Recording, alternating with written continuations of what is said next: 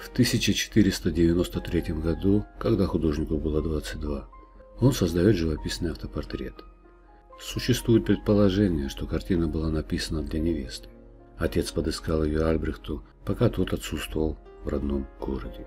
В пользу этого умозаключения свидетельствует и тот факт, что Альбрехт создал автопортрет не на дереве, а на пергаменте, возможно для того, чтобы его легче было переслать внезапной возлюбленной. Впоследствии, уже в XIX веке, работу перенесли на холст.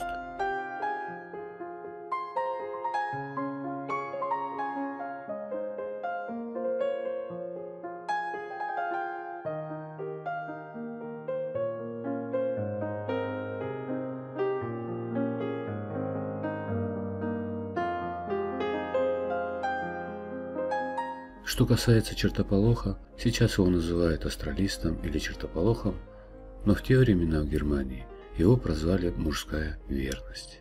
Намек на это – растение в руках молодого человека. Отправляя портрет невесте, Дюрер подтверждает готовность жениться. Но экстравагантно театральный костюм и надпись «Мои дела определяются свыше» указывают, что чертополох в данном случае – выражение набожности Дюрера. Чертополох, как известно, является символом страстей Христовых.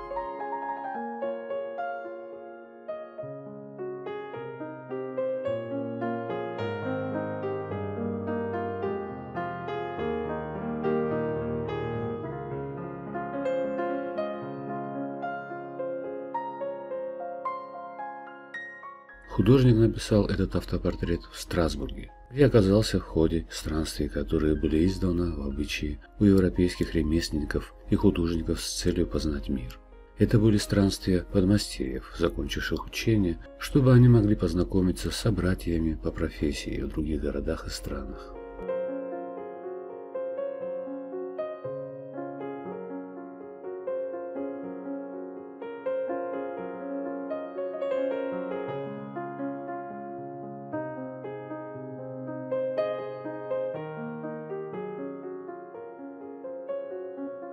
Молодое лицо прекрасно и спокойно.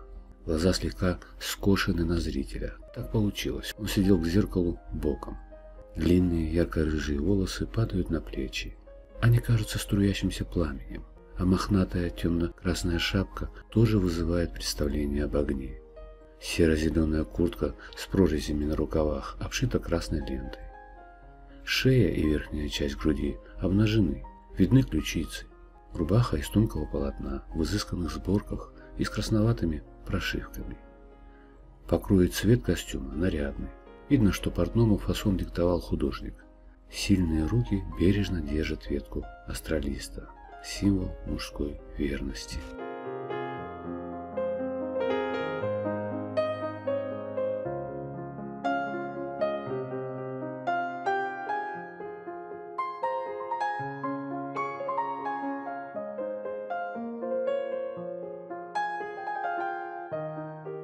Альбрехт Дюрер стал первым мастером европейского севера, писавшим автопортреты. До этого в средневековом сознании личность художника не считалась столь значимой и достойной изображения. Хотя и до Дюрера некоторые художники изображали себя скрыто на полотнах, в основном в сторках алтарей. Со второй половины 15 века происходят перемены в осознании художниками себя не ремесленниками, а творцами. Мастера живописи переходят к созданию собственного стиля – появляются подписные работы. Так художники страховали себя от появления подделок. Начало этому процессу было положено в Италии. Автопортрет Дюрера из Лувра – одно из самых ранних изображений подобного рода, дошедшее до наших дней. До живописного автопортрета Дюрер уже несколько раз рисовал себя серебряным штифтом и пером.